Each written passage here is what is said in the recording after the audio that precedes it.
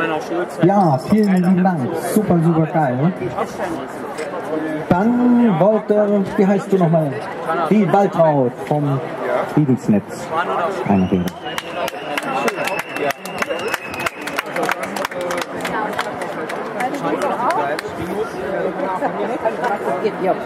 Liebe Saarländerinnen und liebe Saarländer, liebe Saarbrückerinnen und liebe Saarbrücker, liebe französische Mitbürgerinnen und Mitbürger, liebe Friedensfreundinnen und Friedensfreunde, Angesichts der wieder mal besonders aktuell drohenden weltweiten Kriegsgefahren will sich das Friedensnetz Saar, als deren Vertreterin ich, Waltraud Antruet, heute hier stehe, mit einem Redebeitrag an den sogenannten neuen Montagsdemonstrationen beteiligen.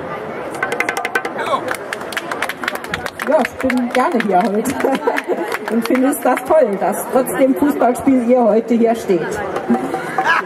Das seit den großen Friedensdemonstrationen der 80er Jahre existierende Friedensnetz Saar signalisiert damit den bisherigen Organisatoren der Montagsdemos, dass es keine Berührungsängste hat.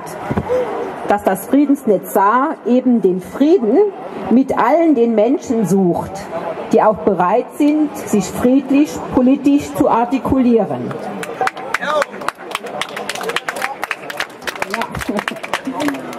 Bereits im Jahre 2003 gab es unter reger Beteiligung der Bevölkerung Montagsdemos gegen den Irakkrieg. So was ähnliches wie heute wieder. Damals hatten sich, egal ob politische oder religiöse Vereinigungen oder sonstige Organisationen oder auch Einzelpersonen zusammengeschlossen und gemeinsam mit der Achse des Friedens gegründet. Und wir, die vielen friedensliebenden Menschen, wenden uns damit aktiv gegen die damalige Achse des Bösen. Die Achse der sogenannten Schurkenstaaten, von denen der amerikanische Präsident George Bush, Bush sprach. Geht mal gar nicht über die Lippen. Dieses Wort. Diesen kriegstreibenden, verlogenen Präsidenten, der behauptete, der Irak würde Massenvernichtungswaffen besitzen, stellten wir Bürger die Achse des Friedens, das Friedensnetz Saar, entgegen. Und diese Idee der Achse des Friedens von einer Welt in Frieden einte diese Menschen weltweit und auch hier in Saarbrücken. Gemeinsam sind wir von der Achse des Friedens montags durch die Innenstadt gezogen. Und damals konnten wir noch Massen bewegen. Da waren 800, 900 bis 1000 Leute mitgezogen. Also da müssen wir noch ein bisschen dran arbeiten. Es würde mich freuen, wenn wir diese Tradition wieder aus gegebenen Anlass fortsetzen könnten. Unser Appell an die Bundesregierung und an unseren Bundespräsidenten Joachim Gauck lautet, Nein zum Krieg, keine Militäreinsätze in andere Länder und stoppt den Waffenhandel. Ein Wort noch an unseren Bundespräsidenten, der sich auch wieder an die Nationen gewandt hat. Herr Gauck, Sie reden nicht in unserem Namen. Sie sind nicht gewählt worden, um ständig neue Kriegsbeteiligungen zu fordern und für Gefallene postum Heldenorden zu verleihen, sondern dafür, dass vom deutschen Boden nach dem Grundgesetz nie wieder Krieg ausgeht. Korrigieren Sie Ihre Einstellung oder treten Sie zurück von mir aus, so zackig wie Sie reden, fürs neue Morden halten. Oder wie gesagt, spielen Sie lieber Fußball mit allen Nationen, anstatt Waffen zu verteilen.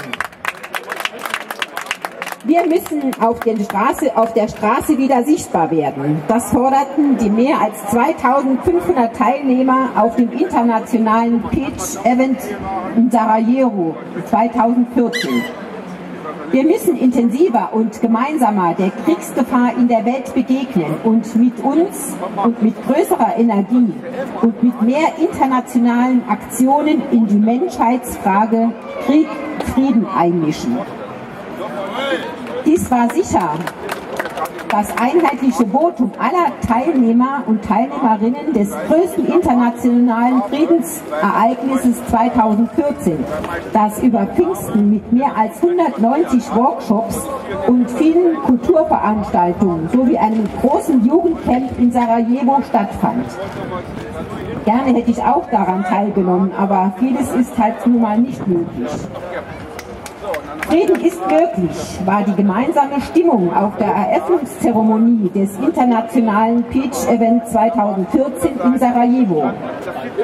Wir wollen nie mehr Krieg und Konflikte sind freilich zu lösen war die Botschaft der Menschen- und Friedensaktivisten aus mehr als 32 Ländern. Wie gesagt, gern hätte ich auch daran teilgenommen, aber vieles ist halt nicht mehr möglich. Wenn wir vom Frieden reden, sollten wir als in der Friedensbewegung engagierte Menschen andere Menschen im Blick haben und mit ihnen diskutieren. So beispielsweise mit euch heute hier. Aber auch das bietet der beispielsweise gerade jetzt in der, so lautet das Motto des Aktionsmonats im Saarland, der am 25.06. beginnt und bis zum 25.07. geht. Der äh, ein, das findet ein Aktionsmonat Militarisierung der Gesellschaft statt.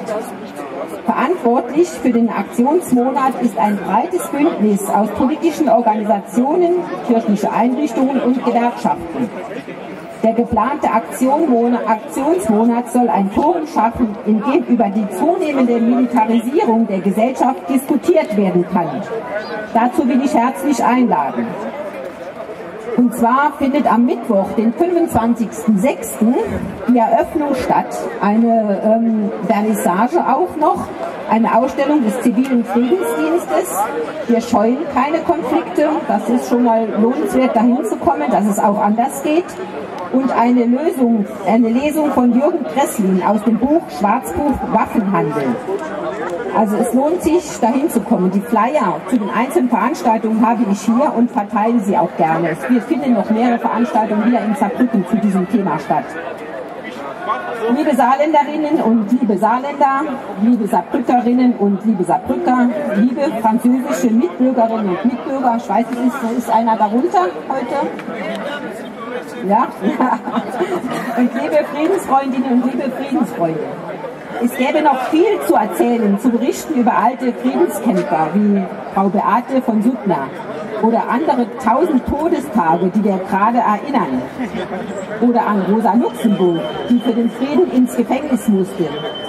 Oder noch die folgenden vielen Friedenskämpferinnen und Friedensengagierte wie Petra Kelly, Donovan, John Lennon, Wolfgang Nielegen von BAP oder, für, oder vielleicht auch John Beetz und auch Konstantin Becker, die wir auch einige kennen.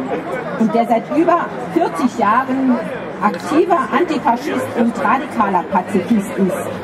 Das können wir immer wieder in seinen Liedern hören und in seinem neuesten Buch Mensch und Krieger, wo er geschrieben hat, auf der Suche nach einer Welt, die es noch nicht gibt, nachlesen. Also ist vielleicht lohnenswert, auch mal zu lesen und darüber zu, äh, zu diskutieren, über eine Welt, wie wir sie uns vorstellen. So, ich weiß nicht, vielleicht am Schluss singen wir ein gemeinsames Lied und da Klaus Gitarre dabei spielt. ja, dann, ja, Klaus, wie sieht's aus? Aber wir können doch gemeinsam singen. We shall overcome. We shall overcome. We shall overcome someday.